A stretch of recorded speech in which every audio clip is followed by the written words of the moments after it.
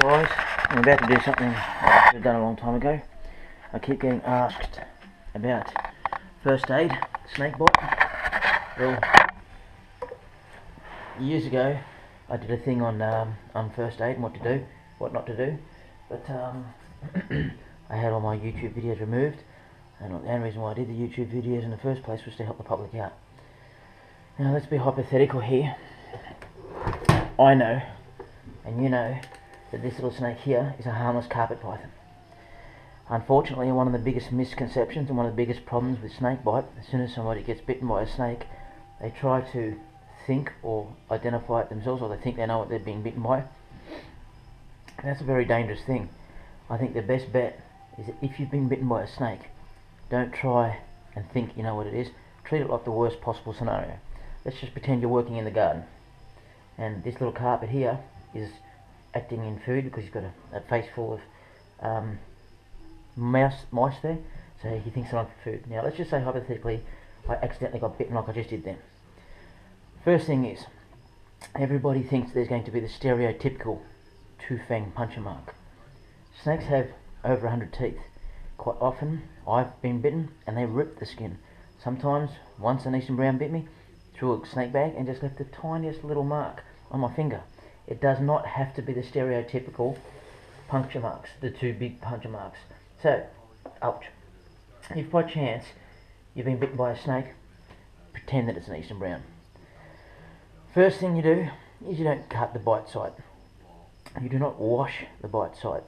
You do not get your mate to try and suck the venom out. Uh, you do not do anything silly. You actually leave the bite site as it is. And one of the reasons why, let's just say that was a tiger snake it bit me then, the doctors can do a swab and it helps them identify what species of snake you've been bitten by. So you leave it. You grab yourself 150 mil or thereabouts compression bandage. Now that snake just chewed on my finger then. You grab that compression bandage and you try to stay calm because the venom actually travels in the lymphatic system, which is the fat layer just underneath your skin. And what that lymphatic system is, is like the sewer system of your body so that if you've got a bindi or, or something silly and it's got into your skin and it's got a toxin, it gets rid of that toxin, goes through all your lymphatic system, and you end up pooing it out the next day. Now, snake venom actually depends on that lymphatic system. So the more you're active, the more faster and the more effective the snake venom actually works in your body. So the first thing is to stay calm. Then you grab that compression bandage and you wrap it over the bite site.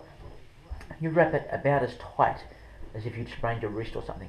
Not stupidly tight to make your hand go blue and drop off. And you wrap it all the way up your limb. In this case, all the way up to my armpit. Now what this does is applies pressure to that lymphatic system. So it in effect slows down and buys, buys, slows down the effect of the snake venom and buys you a lot of time. Now, if by chance I was bitten by a snake, I would then get, try to remember this, I've never done it, but you can get a pen and draw a cross on the bandage where the snake has bitten you. Now the purposes of this is if I'm on my way to hospital and I pass out, well, the doctors go, well there's a cross, this is where the snake bite is.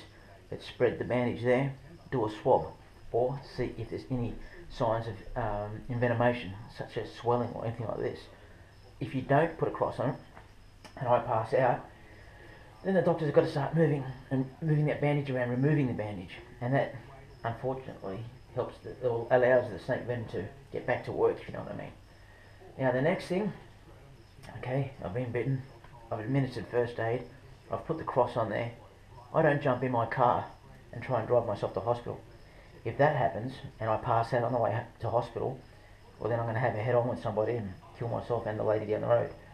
So I either get my neighbour or whoever's with me at the time to drive me to hospital, and I will usually, in my case, grab the phone and ring the hospital and say, it's me, Snake Man, I've been bitten by a, a snake and I'm on my way. This is what I think it is.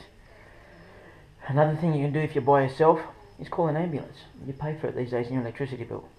Now, by applying that pressure and by staying calm if you can, and then getting yourself to hospital, the chances of dying by snake bite are very slim, unless you have underlying health conditions like heart problems or kidney problems to start with.